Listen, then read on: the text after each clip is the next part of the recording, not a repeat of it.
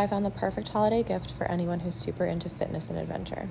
I spend most of my 9 to 5 at my desk, so when I'm not working, it's super important to me to prioritize movement, whether that's being at the gym, hiking, or taking my big boys for a walk. This last one is non negotiable, and because they're so big and rambunctious, I always have to walk them separately. I wanted a simple way to track exactly how many steps I was taking every day, and that's why the Life Watch is the best gift I've gotten all year. It has advanced sensors to monitor vital health stats like your heart rate, blood pressure, and of course, your steps.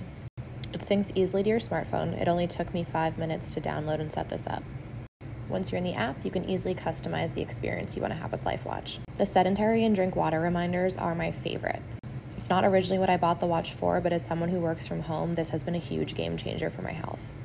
The touchscreen allows you to pretty seamlessly toggle between the different modes to track your daily activities, sleep patterns, etc. You can also enable features like easy calling and messaging right from your wrist.